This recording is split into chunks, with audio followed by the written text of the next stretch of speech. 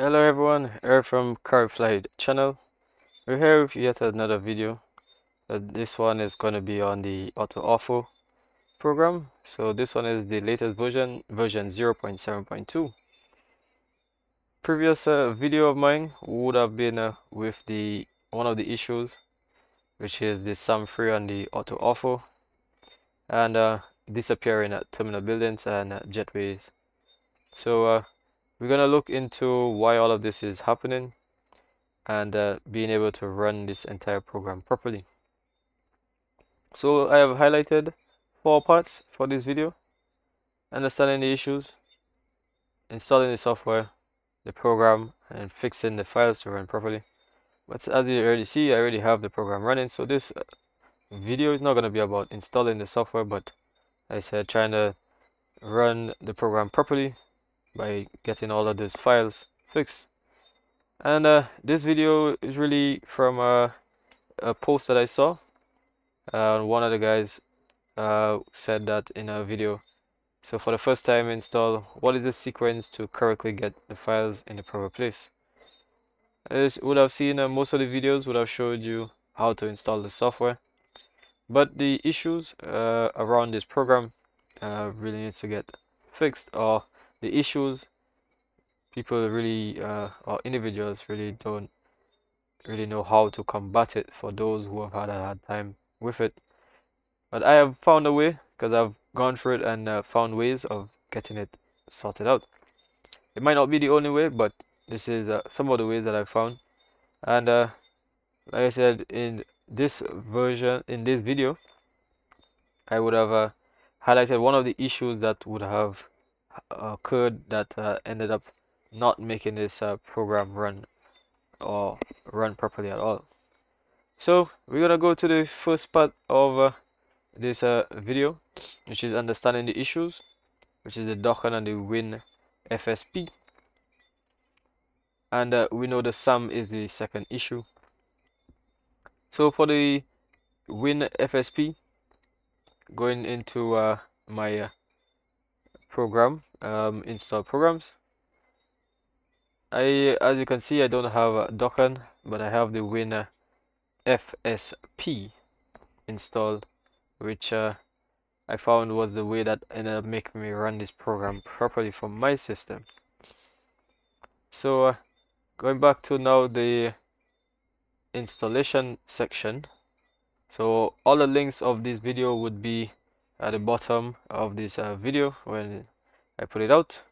So that uh, or if you guys want uh, you can just uh, Google go to Google and then uh, just look for the auto offer. And you should get the github page right here which I'm gonna sh show you the entire steps to installing the software. And I think this is what we're gonna do right now but even before that I would like for you guys to have a look at this video to understanding some of the issues in terms of the SAM3 and AutoOrtho and uh, trying to figure out how to get it according to how the video is so that you can be able to uh, get your system running with already known uh, SAM3 issue. So uh, with the uh, install as you see there's a Linux the Windows setup. So for 64 um, X-Plane 11.5 on up. So you're gonna install whichever one but uh, I strongly suggest the WinFSP since I had that since I have that running and got it to work. Then you're gonna go to the latest uh, software version which is you're gonna click right here. And then uh, it's gonna take you to this uh, page in the github and just gonna download it. You can look at the changes uh, if you want. But uh, one of the biggest change with this program from the previous version um, uh, as you can see the previous version was either 6.0.6 or 5.1 the files were turning out to be like this from uh, this uh, video. You can see how the files were previously. But uh, with the latest uh, with the latest version now you get in the files looking like this. With the new version however 0.7.2 you see this new code in here. So what they're trying to do here is that they're trying to be able to run this program automatically where what I mean by automatically is like being able to to run the cache files and instead of having to stream it. So it will just take all the cache data and see based on the cache that you have you can put it to as many as as big as you want. And um, it's gonna cache all those files and then being able to run it automatically without running the program. So that's so one of the good things about the latest version the 0.7.2 and uh, if you want to have a read up on this you just like I said the link is going to be at the description. So you can have a look into it for the installation uh, section. So the program now. So as you see here this is the program. You're gonna see here it has the install directory. It has the X-Plane directory. The cache directory which is where you're gonna put like I said the cache all those cache images. And those uh, image those temporary download would be the, the download cache files which will be in a folder uh, in a zip and then would be converted into a cache um into cache photos. So down here you can either override the map and change it to whichever one which I would advise you to have a look either on the internet to find out which map is better suited but I've left it on on override where it's just going to override to what it thinks is the best one available. But like I said you can either change it to whichever one that you want. But I know Bing Maps mostly Bing Maps uh, is known so you can go on Bing and see what the images would look like so that's that. So what happens is when you go into the scenery version now into the scenery section you will see all the scenery uh, the ones that you're going to install. So when you install all of these different uh, ones here so you're gonna get the cache files for these different uh, orthos. And then uh, what happened is that you're just going to either press save to save your configuration and then you're going to press run. So that's not the end when you press run. So when you press run you're going to see logs. You're going to see files starting to um, things starting to change here which is going to show you that those cache files are starting to get loaded to be able to run with the sim. So for like I said you're going to press run. It's going to show updating config since I changed the cache from 12 to now 30 so it's gonna take some time to load. And running you go in the logs and you'll start to see things happening inside so based on what you see then you know that the program is running properly. So for example you see it's uh, restoring some of those files from the cache to be able to launch for the uh, app in the sim. So you're just gonna have it running in the program in the background. And now for the last part which is uh, fixing the files to run properly.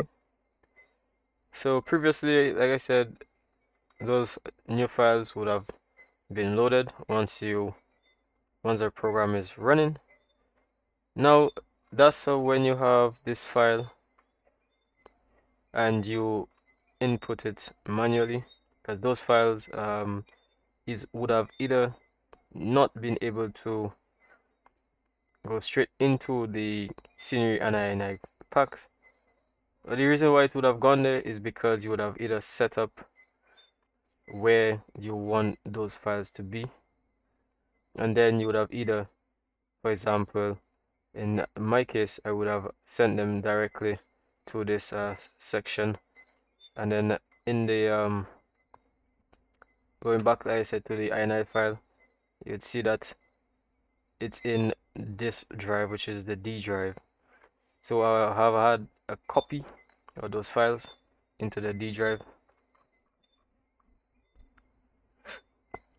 So as you see here the shortcut for those uh, files is already in the is in the D drive since this is where the original files comes from. So whether you have this program which is the xOrganizer which I would suggest if you do have it you just have to make sure that you got you get the files in the right order. So when you first launch the when you first press run and then you load up the xOrganizer you would see that the there will be a loading screen which I would get one of the videos that I have which, which demonstrated that. When you start your so you're just gonna listen to the voiceover xOrganizer program. You would see that the files would uh, launch and you would see it come like that. You're just gonna accept it you know tick accept it so that to go in these folders. So that to go in these folders. So he said that it will go into these folders which down here in the orthos you'll see in the orthos down here that there is offer Europe America. So when you press run for the first time like I said it's gonna be inside of here which according to the video this is what you're going to see. So you're gonna just accept press accept and then uh, close which gonna send it directly into these files here. What what it does is that it's going to automatically be able to when you press start that those files are would automatically go at the bottom here because you would have um, placed those files um, as you say in the program at the bottom automatically.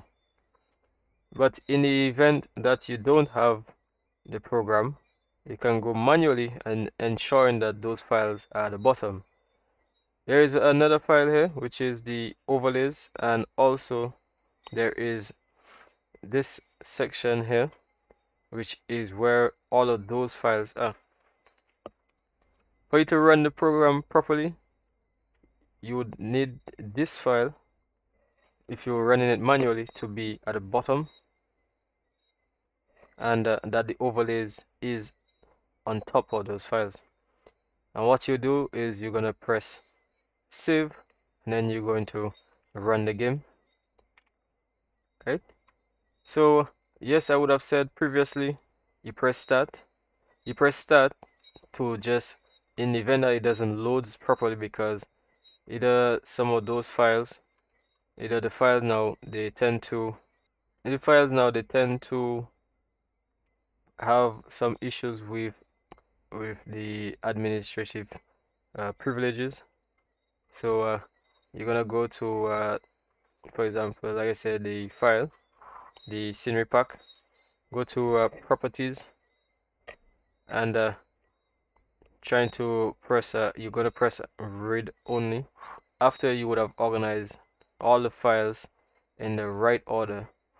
Then you would either press I say read only apply okay and then you're going to start the program and then it should be able to run properly now I've realized that when you run this program and you press start, what happens is that files tend to go anywhere sometimes that things start to change.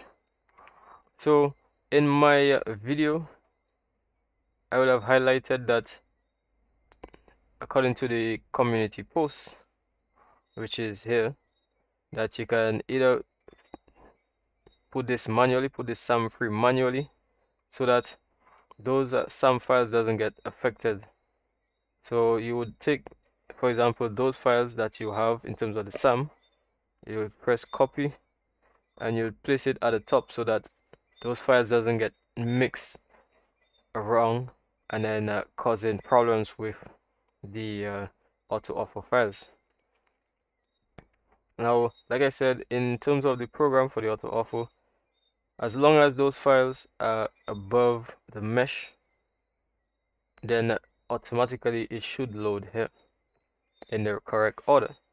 But I've seen cases where is either you have to take it out of of here and put, place it all for example in the mesh and all those files you're just gonna keep taking them one by one. For example if they're in error for example and you're just gonna put load them all together in a one file here like that like this for example. And like I said you wanted this file which is the folder that has all of those files where you don't it is either you don't have to get the streaming but then just run it automatically. What you're gonna do is you're going to like is either you take it out and then you place it back in the folder and it should come at the bottom here. And what I did was lock press lock current order. So then in this way now it always stays this way when it starts and you go into the scenery file then it should always stay in this order whichever order that you have it automatically set here. Right the folder should be able the um the game should be able to run um X-Plane should be able to run with both the SAM and the AutoOrtho. As how currently there is the issue with SAM running with um the AutoOrtho. Okay so if that uh, didn't make any sense or you understood exactly uh, just go onto my channel and uh, you can hit me on the discord either in my uh, bio above or you can uh, get it get it at um, in the description of this video below. And then uh, you go straight the, the link straight to the discord channel where you can discuss um, anything that you want to discuss further whether on this software or anything else. So I said it's, it's a bit tedious that we have to do it this way but uh, that's the way that I've found to be able to get it to run. So do let me know what you think and uh, we would uh, talk about it